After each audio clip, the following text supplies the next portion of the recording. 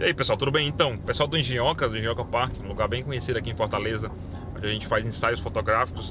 Eles convidaram a gente, né, eu e mais um monte de fotógrafos, acho que tem 80 pessoas na lista, para um encontro lá que eles querem conversar com a gente, talvez passar regras, enfim, dicas, não sei exatamente qual o escopo da conversa, mas eu sei que é uma boa oportunidade para se reunir com a galera, né? Vai ter muita gente lá, eu tava vendo os nomes na lista, muita gente que eu não conheço pessoalmente, que eu quero conhecer. E eu acho que vai ser uma boa oportunidade, né? Vai estar reunido com essa turma. E algo que é importante pra gente, que é estar unido, né? Na verdade, né? Trocando ideia, trocando experiências, que eu acho que a gente não deve olhar os fotógrafos, os colegas de profissão como concorrentes, e sim como amigos que estão todos ali remando na mesma direção, né? Que o objetivo é satisfazer os nossos clientes. Então, acho que isso vai ser uma uma ótima oportunidade, né, para estar conversando com o pessoal e trocando ideia. Eu espero conversar com algum deles e gravar alguma coisa aqui pro canal, né, trazer dicas para vocês aí que não estiveram presentes no evento e que possam aproveitar de alguma forma, né? Então, é isso aí, a gente se vê daqui a pouco lá no Geão. Vamos nessa.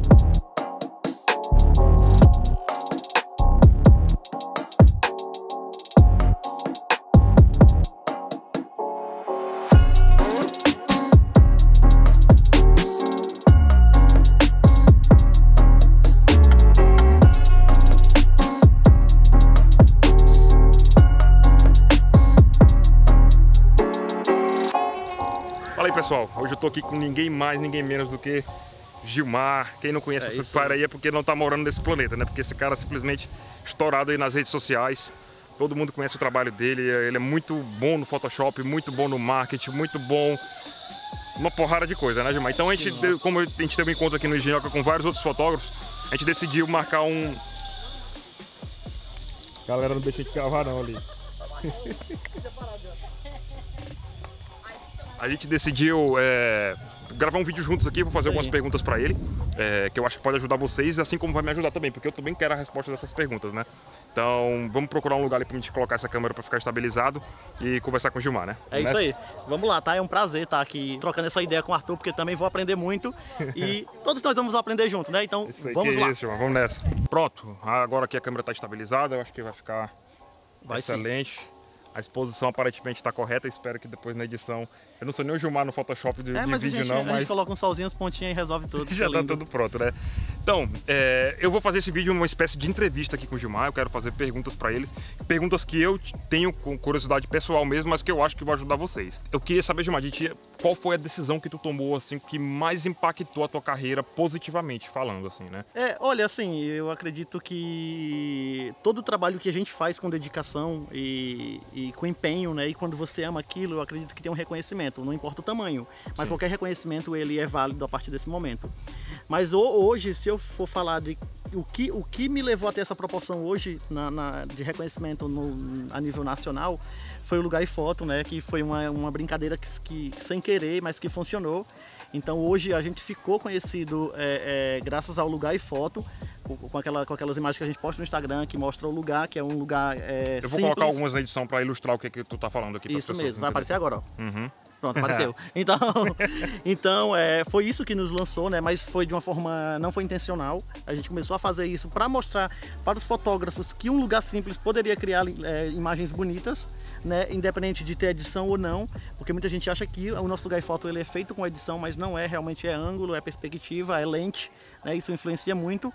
Então hoje foi isso que lançou a gente aí, né? E, e é muito legal porque não foi proposital e, e é bacana esse reconhecimento e às vezes as pessoas, as pessoas me encontram nos lugares, vai lá, ah, tu é o, lugar, o carinha do lugar e foto, né? Então acabou virando uma marca, marca né? registrada do Gilmar. Virou uma marca. Tem né? uma galera fazendo aí também, imitando essa mesma estratégia, né? E assim, eu acho isso até positivo, na verdade, Sim. porque eles estão, de certa forma, também tentando replicar uma coisa que você criou e que realmente teve bastante sucesso, né? Sim, sim. E o que eu acho mais legal do lugar e foto, assim, que eu acho que é o principal é, motivo do sucesso, é que as pessoas gostam de ver basti os bastidores mesmo das coisas, né? Gostam de ver o por trás ali da criação da tua isso visão é artística, né? Que dá para poder mostrar também uma coisa que tu mostra muito mesmo, assim, que é marca registrada, é que qualquer lugar para ti é possível. Eu sempre comento isso com a minha esposa também, eu falo, rapaz, o Gilmar ele faz foto em qualquer lugar. É. Tem uma foto do Gilmar que ele fez numa piscina, eu falei, caramba, tem gente que precisa ir na Grécia para fazer essa foto. Tipo, o lugar não tinha nada de especial, só tinha uma borda de uma piscina e tu conseguiu fazer com que aquela foto parecesse que a pessoa tava, tipo, na Grécia mesmo. Assim. É, verdade. Você consegue mostrar mesmo ali que se você tiver visão, entendimento técnico do seu, do seu equipamento e acessibilidade mesmo, assim, você consegue fazer fotos bonitas em qualquer lugar, né? Isso, é isso é verdade. É, realmente, eu tiro o chapéu para ti, pra te elogiar aqui publicamente também, porque é verdade. Que história é essa? Então, é isso. Tu tem mais alguma coisa a, a agregar ainda a isso aí? Eu te, é, acabei te incomodando, eu falei que ia ser Faustão. Não que nada, mas assim, eu acredito que isso realmente o Lugar e Foto lançou, mas é, eu acredito que o, o meu lado é, é, ser humano que eu procuro ter hoje no dia a dia, isso também agrega muito valor a esse reconhecimento, sabe? Que eu acredito que, como eu postei recente, não basta ser um bom fotógrafo, a gente tem que ser um bom ser humano. Então, eu acho que isso conta Pura muito. verdade, Gilmar. Então, isso conta muito na hora do reconhecimento e eu acredito que hoje eu tenho isso é, é, por conta da minha família, né, que me ensinou a, a, ser assim. E quando a gente tem isso dentro de casa e a gente se aproxima de a, a gente se aproxima de pessoas boas, pessoas do bem, a gente acaba trazendo isso para nossa vida como espelho, né? Que eu acredito que você seja um e dentre outros vários fotógrafos que estão aí no mercado que não fazem questão, não, não medem esforço para elogiar como você está lá sempre elogiando o trabalho da galera. Então isso é massa, isso é um espelho, tá? Não só o trabalho visual, não só a estética, não só a emoção, mas o ser humano também ele vale conta muito na hora. É verdade, é incrível também o poder magnético do bem também, né? Muito o quanto grande. quando você está distribuindo é, coisas boas, energia positiva, ao invés de estar tá reclamando nas redes sociais, tá levando Isso coisas legais para as pessoas, você atrai o bem para você, né? Aquele cara que fica só reclamando, ah, mas tá, o mercado está muito saturado, ah, mas a galera cobra muito baixo, ah, mas não sei o que aquilo, aquilo na verdade só faz é expulsar os clientes, porque ninguém gosta de negatividade. A negatividade ela repele as pessoas e a positividade ela atrai as pessoas para perto é verdade, da gente. Então verdade. a gente tem que ter realmente consciência disso. Que bom que você naturalmente tem essa consciência, não é, não é, nem algo forçado. Dá para saber totalmente que não é forçado, né? Que é, é natural. É né? de família mesmo. De então é isso. Pronto, vamos lá para a segunda pergunta então. Acho que a gente poderia até mudar de lugar aqui para ficar um pouco mais dinâmico, né? Mas vamos lá? Vamos trocar a bateria também que está acabando aqui.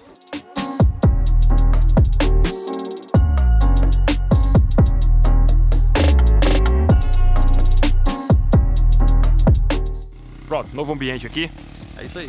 Gilmar, a minha segunda pergunta que eu tenho para ti é qual conselho que tu daria pro Gilmar, fotógrafo, quando ele estava iniciando a carreira há quase cinco anos atrás? Caraca, que pergunta, né? É uma pergunta meio que difícil e fácil ao mesmo tempo. É, porque quando a gente para e, e, se observa, a gente acaba que bugando a cabeça, né? Porque hum. a gente às vezes não quer voltar, mas quer voltar no tempo. Mas assim, é, realmente, se, se, eu pudesse voltar no tempo, é, eu acredito que assim, é, antes de falar sobre o, o, a volta nesse tempo e que conselho eu daria para mim, eu, eu acredito que eu paro e penso e, e, eu fiz muitas coisas bacanas no começo da minha, da, da minha vida fotográfica, né?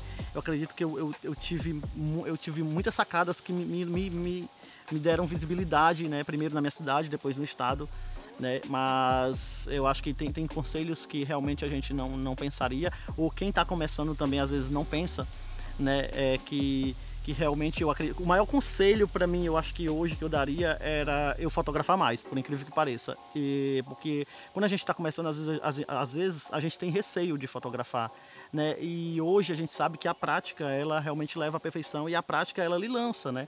Então eu acho que na época quando eu comecei eu fotografava pouco né? E quem está começando realmente fotografe muito, vá para o campo, não adianta estudar só no papel, só é no, no, YouTube. A gente tem que ir para a prática, porque a prática realmente é o, é o, que faz a gente aprender essa vivência de luz e tudo. Né? Então acho que um conselho que eu daria para mim quando eu comecei era eu ter fotografado mais, que eu acho que hoje eu teria aprendido bem mais do que eu já sei do que eu tenho para aprender ainda, né? Mas outro conselho que eu daria é o investimento em, em mídias sociais. Eu acho que hoje quem está procurando vender o trabalho tem que aparecer, né? Só é, só é lembrado quem é visto. É verdade. E assim, eu, o meu Instagram, eu comecei a usar ele de um ano para cá. Então eu tive um crescimento é, é razoavelmente legal, né? No, no, Instagram. E se eu tivesse pensado isso desde quando eu comecei a fotografar, cinco anos atrás, se eu tivesse investido realmente em postar todos os dias, em estar tá lá mostrando o meu trabalho, eu acredito que eu teria uma visibilidade maior maior, né? Lógico que visibilidade não é tudo, como eu falei, eu acho que o legal é você fotografar mesmo independente de visibilidade, porque isso é o que vai agregar valor à sua fotografia e não se mostrar muitas das vezes. Uhum. Mas eu é meio difícil a pergunta, mas é, realmente o conselho que eu daria era esse mesmo, fotografe mais, ame mais isso, que você só cresce com isso e só é lembrado quem é visto. É, mas eu, eu acho que tu tocou exatamente nas duas bases do sucesso de um fotógrafo. A qualidade do trabalho e a visibilidade daquele trabalho bom. É. Esse conselho que tu deu é, é, é, muito bom mesmo. Eu, eu tô arrepiado com isso aqui, porque tipo, é massa, é exatamente o que eu também daria para mim como conselho também, porque exatamente no início da carreira da gente é onde a gente mais forma a nossa base visual. Isso é verdade. Aquilo que eu fotografava há cinco anos atrás quando eu comecei, eu pouco mudei hoje. Então, se aquela minha base ali ela é formada com bastante consistência, com bastante força, o que eu vou levar para frente vai crescer muito mais. É porque é depois que você está lá com 10 anos de fotografia, fotografando a mesma coisa, vindo aqui, por exemplo, no Engenhoca, é, 50 vezes seguidas, você praticamente já está fazendo a mesma coisa. Você vai estar tá se repetindo. Isso é verdade. E o que é errado, na verdade, a gente deve estar tá sempre se cobrando, se em, cobrando. em, melhorar, em crescer, em tentar algo diferente, em tentar se inspirar mesmo, em buscar olhar alguma coisa uhum. diferente, né? Mas é mais difícil quando você já está digamos assim, com, com um olhar viciado, né, naquele lugar, né? Muito né? difícil. É, então, assim, quando você está no início mesmo, foque nessa base, estude o máximo possível e fotografe muito, fotografe muito, muito, mesmo, mesmo. para conseguir aprender, porque na prática você pode passar o dia todo lendo livros, assistindo vídeos na internet, assistindo esse vídeo que falo. você está vendo aqui, mas não vai aprender tanto quanto fazendo, né? quanto né? fazendo. A gente não, não, é, não deve só esperar o cliente, sabe? Eu acho que a gente tem que convidar algumas pessoas, convidar amigos, convidar familiares para ir testando. Você experimenta dessa forma e quando você já tiver um cliente, você está mais seguro da sua técnica. Até para ter mais liberdade criativa, né? Sim, Porque no dúvida. ensaio que você está convidando, por exemplo, a fotografar meu irmão ou fotografar minha cunhada, você tem mais liberdade de pedir coisas, de arriscar, porque você não está sendo pago no trabalho é comissionado, você vai ter muito mais medo de errar e vai acabar sempre fazendo aquela receita de bolo para não, não errar, e não é arrisca é muito, né? É. E a outra coisa que tu citou que é excelente mesmo, que eu não posso deixar de comentar aqui, é a questão da, da base das redes sociais, porque se você não está nas redes sociais, você não tá, não existe praticamente. Não adianta mais você colocar lá um, é. um, ponto físico. Digamos se você tivesse só lá em Cascavel. Imagina aqui, Gilmar, tu lá em Cascavel com a placa Gilmar Fotografias. Entendeu? Quem é que ia passar na frente e entrar no teu estúdio? E hoje, e hoje é, o acesso à rede social ele tem uma visibilidade muito grande e é gratuito, cara, né? É, é gratuito. gratuito. Hoje você não precisa pagar uma TV para aparecer na, a nível nacional. Vamos lá para minha minha terceira pergunta. Espero que o Gilmar não esteja cansado aí, né? Tô não, que nada. Fala de fotografia, eu passei o dia todo aqui. Bom dia, seja bem-vindo com o programa Encontro com o Arthur. Não é a Fátima Bernardes, não. Não, encontro com o Arthur. ah, então pronto, vamos lá. Para minha terceira pergunta, eu queria que tu me falasse sobre um programa de computador ou um aplicativo de celular assim que te ajuda bastante no teu negócio e que talvez muitas pessoas possam não, não saber que tu utiliza uhum. ele e tal. Legal essa pergunta, até porque assim, eu sou um tipo de fotógrafo que não gosto de edição de imagem, tá? Eu não gosto de Photoshop. É, não, tô brincando. meu sobrenome. Eu falei, esse não é o Gilmar, não, que eu conheço. meu sobrenome é Photoshop. Então, gente, não acho que não é muita novidade né, que aplicativo eu uso, que ferramenta eu uso para tratar a imagem, é, tanto no celular como no, no computador. Quem me acompanha sabe, né, que eu já falo muito. E às vezes é uma curiosidade, porque tem muita gente que acha que eu uso a ferramenta de edição o Lightroom, né? Porque hoje é uma, uma, um, um, programa universal. É, a maioria dos quase todos os fotógrafos utilizam. E eu não uso Lightroom, tá, gente? Eu sou, eu só uso mesmo mais é, o Photoshop Tá, eu já uso Photoshop há muito tempo, eu fotografo quase há 5 anos e uso Photoshop há 12 anos. Então, tipo assim, eu cresci dentro do Photoshop, né? Com as primeiras versões. Então eu acabei que dominando um pouquinho uh, o Photoshop por experiência já de vida, né? Então é, eu uso Photoshop, sim. Eu adoro Photoshop, sou apaixonado, sou viciado, como tem lá no meu, na minha bios do Instagram, sou viciado em Photoshop mesmo. Né? E no celular eu utilizo Photoshop também, Express e utilizo o Lightroom. Aí no, no celular eu uso muito Lightroom, porque uhum. eu gosto muito né, de trabalhar as cores e é mais prático. Porque no, no, no, Photoshop ele tem um plug chamado que é o Adobe Camera Raw, né? Então eu utilizo muito o Adobe Camera Raw, que é, é praticamente a mesma coisa do Lightroom, né? Só muda realmente o layout, né? mas as ferramentas são as mesmas.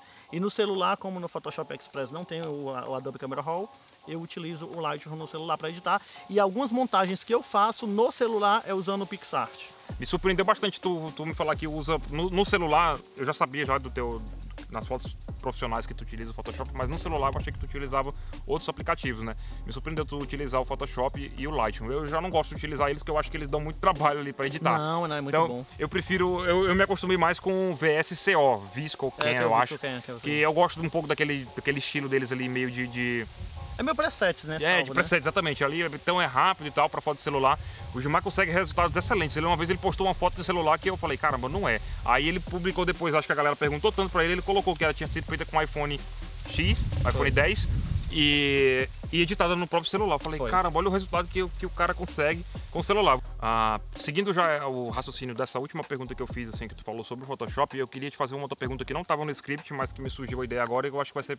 É, muita gente deve ter curiosidade de saber, Gilmar. Por que Photoshop e por que tu acha que as pessoas não utilizam tanto o Photoshop? Olha, eu acredito assim, o Photoshop ele é um programa realmente de tratamento de imagem e de manipulação.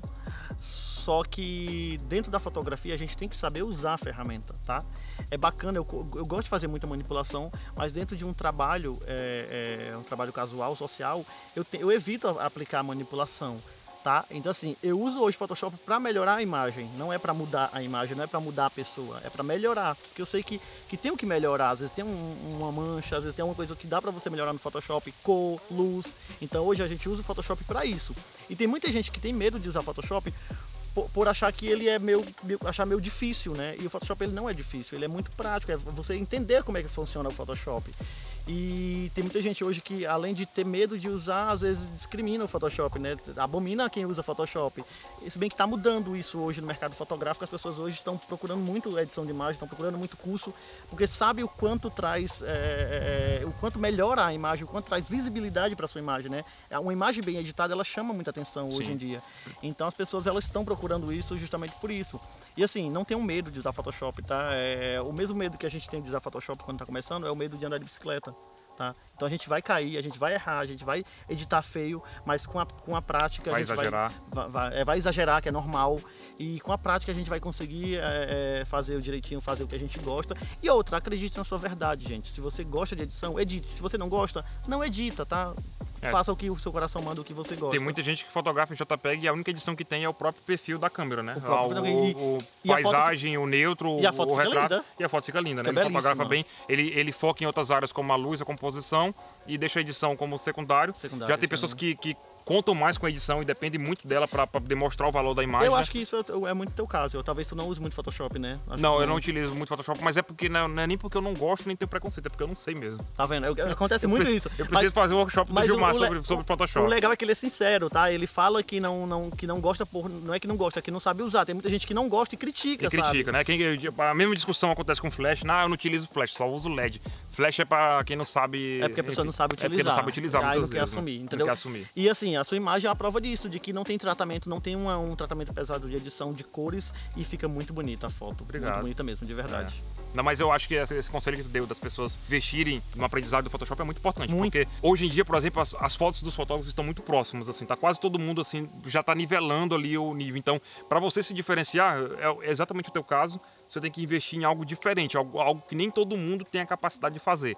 E o Photoshop, por exemplo, é, é um grande diferencial teu mesmo assim, é, de que tu faz um tratamento e, e, sem exagerar, na verdade, ali você percebe que aquilo ali foi editado, que aquilo ali foi teve uma manipulação, mas está dentro da, da realidade, está dentro dos padrões de beleza estéticos, assim, agradável aos olhos, né? Sim, que eu acho que muito. o importante da fotografia é passar essa mensagem e ela ser agradável aos olhos de quem está apreciando, né? Isso mesmo, independente de edição ou não, tá? Eu acho que a, a fotografia ela realmente ela tem que tocar visualmente, emocionalmente. Né? Eu acho que não é só a emoção, acho que tem que ter um pouquinho de estética também. Tem muitos fotógrafos que hoje pregam a, a, a emoção da foto e não a estética. Eu acho que as duas, as duas coisas têm que estarem tem, ligadas. Tem que estar ligadas também, né? Bem, não é essa, ah, eu sei lá, vou fotografar em ISO 12800, mas eu peguei a lágrima da noiva. Tá, tudo bem, tu, no caso de casamento, né? Tudo bem, tu pegou a lágrima da noiva, mas o ideal é que tu estivesse usando uma iluminação bonita e que aquela lágrima fosse melhor reproduzida, né? Melhor reproduzida. Então não venha com essa desculpa de que a, a emoção ah, é. em primeiro lugar e que a, a, técnica em segundo. Não, isso não existe, não. Eu acho, acho que, que tá ligado. Tem que estar tá ligado, ligado, exatamente. É. Nem técnica, nem só estética e nem só emoção. Uhum. Acho que é uma, as duas coisas juntas, acho que você consegue transmitir uma, uma imagem visualmente bonita e emocionalmente tocável, né? Porque ele é. toca. Pessoal, vamos agradecer quem está assistindo o vídeo até agora, porque já está bem longo. Então, se você está gostando tipo, das dicas que o Gilmar está dando aqui, eu pelo menos estou aprendendo muito, estou gostando, então acho que vocês também devem estar tá aprendendo. Deixa um joinha no vídeo aí, assine o canal se, se possível também, eu vou ficar muito feliz. Eu tenho, vou tentar trazer mais pessoas ah, importantes que tenham conhecimento técnico legal como o Gilmar para o canal também.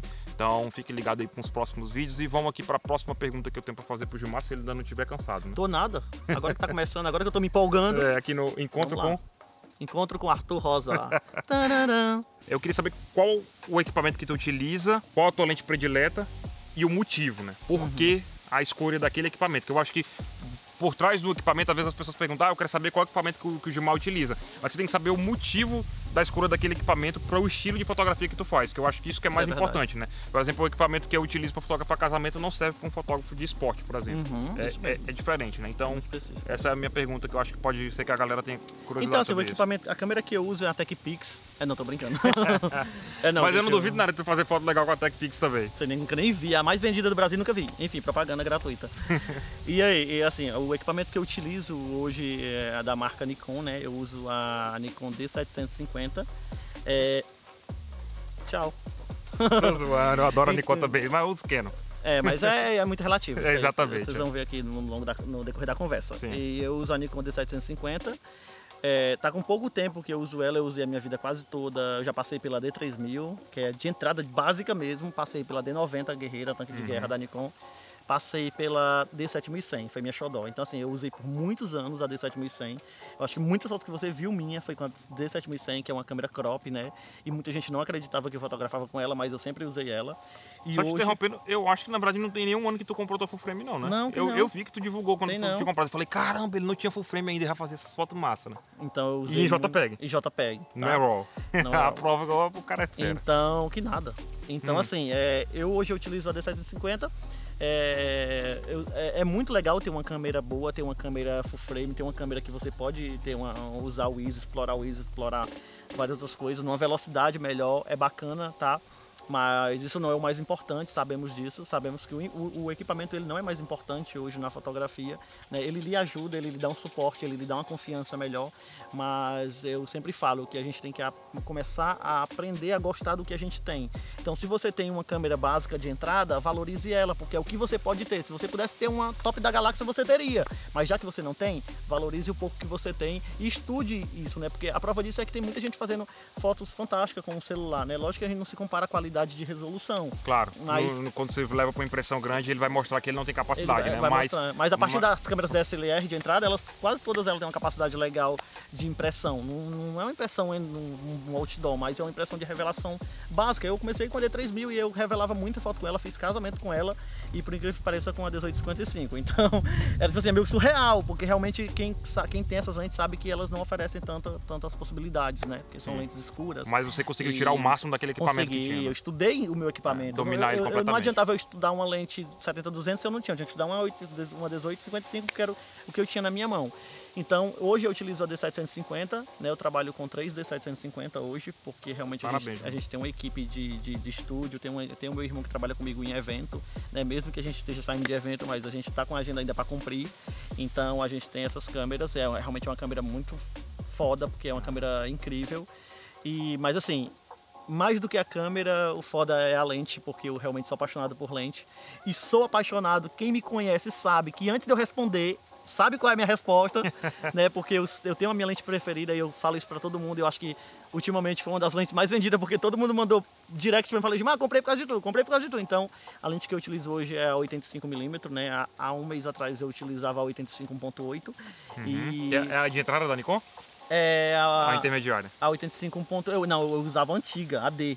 A D. A D é antiga de ferro, a bicha era de ferro ainda. Uhum. Então era muito antiga, porque era a única que eu, tinha, que eu podia comprar então, na época. Praticamente tudo que a galera vê pra trás, tem de um mês pra trás, um, era é feito 85, com essa lente. 1.8D. Pronto. E de um mês pra, cá, cá, agora. eu tô utilizando. Nós estamos em maio de 2018. É, eu tô então... utilizando a 8, a 85 1.4, gente. Da arte? Surreal, da é. Sigma Art, tá? Sigma Art, eu a, também a, tenho ela. A outra Nikon que eu usava era, a, a outra 85 que eu usava era da Nikon mesmo, e agora eu tô usando, tô testando, né? Eu nunca utilizei nenhuma câmera, nenhuma lente a não ser da própria marca, uhum. e hoje eu tô utilizando a 85 1.4 da Sigma Art.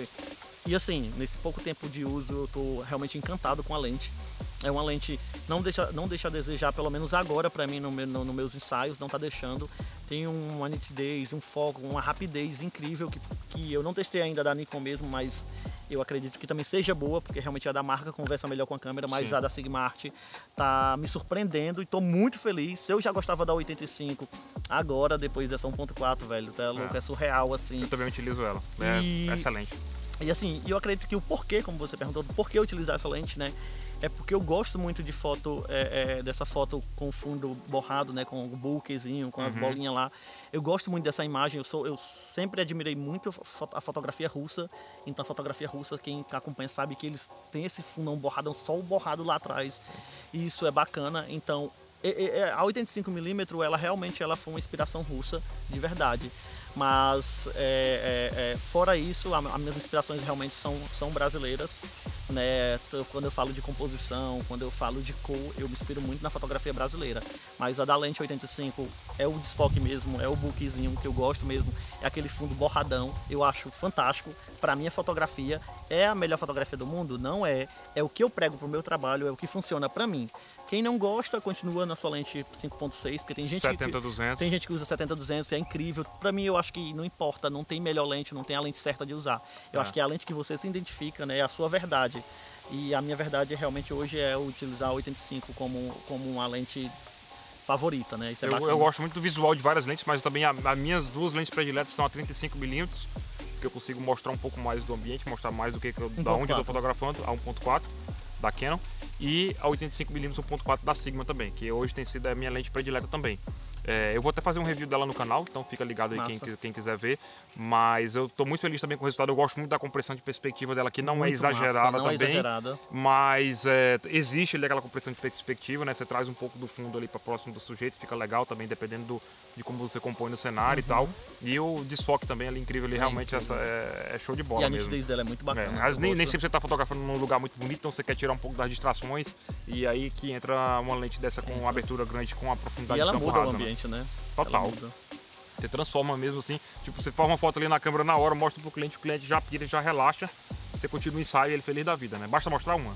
Tô feliz em saber que o, que o Arthur usa a 85, olha aqui, ó. Tô, tô, indo no caminho certo. Eu que tô indo no caminho certo também, né? que massa.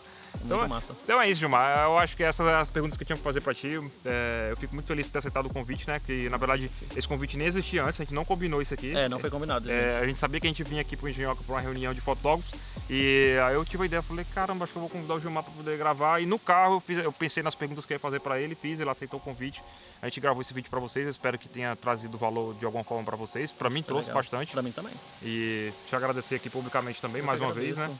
pela, pela paciência e por ajudar também a galera que segue o canal aí a tirar essas dúvidas que eu tenho certeza que muita gente tinha, né? Eu acho que isso é legal, assim, sabe? E assim, é a primeira vez, é a primeira vez que a gente se encontra pessoalmente, né? Gente, é verdade. A gente se conhece já é há muito tempo. Pela internet. Pela internet, o Arthur, ele, ele é um tipo de fotógrafo que não mede esforços para elogiar alguém, para comentar a foto, e eu acho isso plausível, sabe? Eu, acho, eu sempre admirei isso em você, essa sua, essa sua simplicidade e humildade Obrigado. em estar dando apoio a outro fotógrafo com um simples comentário. E assim, às vezes a gente não sabe o valor desse comentário, né? Mas para quem está recebendo, isso é, é grandioso e hoje é. eu percebo isso no meu trabalho, então por isso que eu sigo essa mesma ideia que você de, de ir lá comentar, de elogiar, de estar presente, dando essa força, esse apoio pelo menos distante, né? Então pode ter certeza que todos os seus elogios que você já fez ao meu trabalho foram realmente é, é, bem-vindos e, e agregou muito valor tanto na minha pessoa como no meu profissional, então isso é bacana. Esse canal que você está criando, que você criou, que é realmente eu acompanho e é bacana o conteúdo que você traz para ele. Isso só agrega valor a quem está começando ou até mesmo quem já fotografa há muito tempo. Porque, gente, coloca uma coisa na cabeça de vocês: é, o tempo de fotografia que você tem, isso não quer dizer que você já aprendeu tudo, tá? Chega um tempo que a gente aprende tudo de técnica, mas não basta a técnica. Não basta. basta a gente aprender a gente tem que aprender vivência, a gente tem que aprender a, a, o lado do ser humano, a gente tem que aprender, aprender como tratar as pessoas. Isso a gente aprende na vivência, isso a gente aprende conversando com outra pessoa assim que realmente tem uma experiência legal. Então, parabéns pelo canal, parabéns aí por tudo mesmo, de verdade. Porra, que conselho tu deu aqui agora. Me inesperaram também, não estava esperando ter falar tanta coisa bonita também. Que também esperava não, deixa saiu. até... é sério, eu fico até meio emocionado com essas palavras, mas é tipo... E o que tu falou é, é realmente é, é, verdade mesmo, porque eu tenho poucos seguidores aqui, acho que hoje, em maio, eu tô com 2.300 talvez. No canal. No canal, exatamente. É pouca gente, mas aqueles poucos que mandam mensagem lá, que comentam, ou que me chegam, algumas pessoas chegaram publicamente hoje aqui para mim aqui no Engenhoca e disseram que estão acompanhando e que acham legal, é, elas fazem valer a pena, né? Você Sim, seguir em frente ali, né? Então, você sabe que, tipo, que pouca gente chega pra ti e vai te dizer assim, ah, que bonito. Pode até admirar, mas eles não chegam falando, né? Uhum. E esses poucos que chegam, eles fazem a diferença, né? Você fala assim, ah, eu tenho só 2.300, mas desses 2.300 ali eu tenho uns 10 melhores, aqueles 10, então, que valem mais do que Isso é quem é tem milhões, mas na verdade não tá feliz ali porque não tem, não tá recebendo, na verdade, é só críticas, né? Comentários negativos e tal, né? Muitas vezes porque fez alguma bobagem. Isso é verdade. É, Bacana. Isso é show de bola. Obrigado. Eu que agradeço, Viu? louco, foi massa. Junto aí. Vou deixar o link do canal do Gilmar também. Ele não tá muito ativo ainda no canal dele, mas eu sei que ele mas vai ficar. Prometo, então, vai ficar algum dia. então vocês podem já seguir o canal dele já, porque com certeza quando ele começar, ele vai começar para valer e vai arrebentar. Porque lá no Instagram já, com as lives, com os workshops que ele dá, com os encontros Sim. dos fotógrafos que ele faz também, que eu ainda não tive oportunidade de ir nenhum, mas eu vou uma hora porque eu, é muito bom mesmo. Ele, esse cara faz um monte de coisa legal para a comunidade e ele ajuda bastante gente, a galera que está não só iniciando, como a galera que está já há muito tempo no mercado, então sigam ele aí também, o canal dele. o Instagram também está embaixo, é, eu deixei disponível aí. Ele nem precisa de muitos seguidores não, que ele já tem lá quase um meio milhão, mas acho que vocês vão é gostar de seguir o, o o trabalho dele também, até para se inspirar, né? Então, é isso aí. E assim, eu, para finalizar, o que também eu, eu, sempre gosto de agradecer, é, primeiramente, a, a, realmente a você pelo, pela oportunidade de estar aqui, a Deus, né? Porque eu acredito que claro. sem Deus ninguém, a, gente, a gente não é ninguém. A gente não é ninguém.